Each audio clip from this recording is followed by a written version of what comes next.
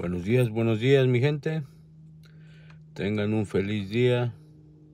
Dios me los bendiga. Cuídense mucho. No trabajen duro. Y echarle ganas a la vida. Tengan un buen día.